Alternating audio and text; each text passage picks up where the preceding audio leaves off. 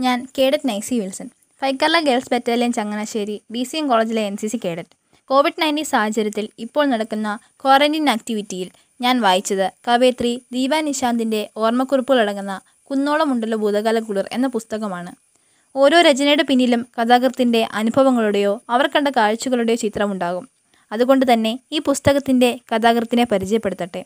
ദീപ നിശാന്ത് തൃശൂർ ജില്ലയിലെ പേരാമംഗലത്ത് T C ശങ്കരനാരായണന്റെയും കെ എസ് ലീലയുടെയും മകൾ.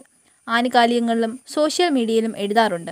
ഇപ്പോൾ തൃശൂർ ശ്രീകേരളവർമ്മ കോളേജിൽ മലയാള വിഭാഗം അസിസ്റ്റന്റ് പ്രൊഫസറായി ജോലി ചെയ്യുന്നു. തൂലിക പടവാളാക്കിയ ദീപ നിശാന്തിന്റെ ജീവിതത്തിലെ ഓർമ്മകളുടെ സാഗരമാണ് കുന്നോളമുണ്ടല്ല ഭൂതകാല കുളിർ എന്ന പുസ്തകം. തന്റെ ജീവിതയാത്രയിൽ ചിരിപ്പിച്ചതും ചിന്തിപ്പിച്ചതും ഭീതിയുടെയും ആകാംക്ഷയുടെയും മുൾമുനയിൽ എത്തിച്ചതുമായ ധാരാളം ഓർമ്മകൾ ഇതിൽ പങ്കുവയ്ക്കുന്നു. കാണാതെ തന്നെ തന്റെ വീടിന്റെയും നാടിന്റെയും സുഹൃത്തുക്കളുടെയും രേഖാചിത്രം ഈ പുസ്തകത്തിലൂടെ മനസ്സിലാക്കുവാൻ സാധിക്കുന്നു.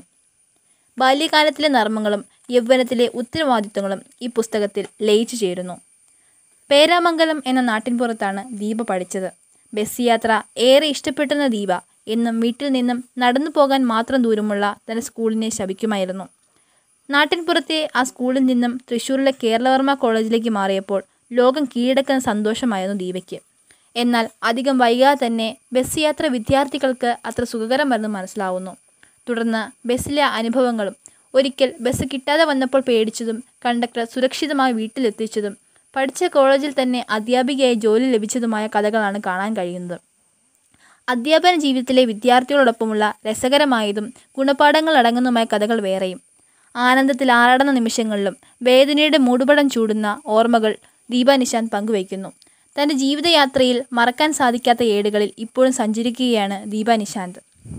കുന്നോളമുണ്ടല ഭൂതകാല കുളിർ മലയാളത്തിലെ ഏറ്റവും അധികം വായിക്കപ്പെടുന്ന പുസ്തകങ്ങൾ ഒന്നാവുന്നതും വളരെ ചുരുങ്ങിയ കാലയളവിൽ ഇരുപതിനായിരം അധികം കോപ്പികൾ വിറ്റഴിയുന്നതും ചെയ്തത് മറ്റൊന്നും കൊണ്ടല്ല. മലയാള ഭാഷയുടെ ലാളിത്യം പേറുന്ന രചനാശൈലി ഈ പുസ്തകത്തിന്റെ നെറുകയിൽ ഒരു പൊൻതൂവലാകുന്നതുകൊണ്ടാണ്. എത്ര മാറുന്നാലും വീണ്ടും വീണ്ടും മനസ്സിന്റെ ചുവരിൽ തെളിയുന്ന ഓർമ്മകൾ നമ്മുടെ ജീവിതത്തിലും ഉണ്ടാകും. അത്തരത്തിൽ ജീവിതത്തിന്റെ ഭൂതകാലത്തിലേക്ക് ഊളിയിടാൻ ദീപ നിശാന്തിന്റെ കുന്നോളമുണ്ടല്ലോ ഭൂതകാല കുളിർ എന്ന പുസ്തകം നമ്മെ സഹായിക്കുന്നു.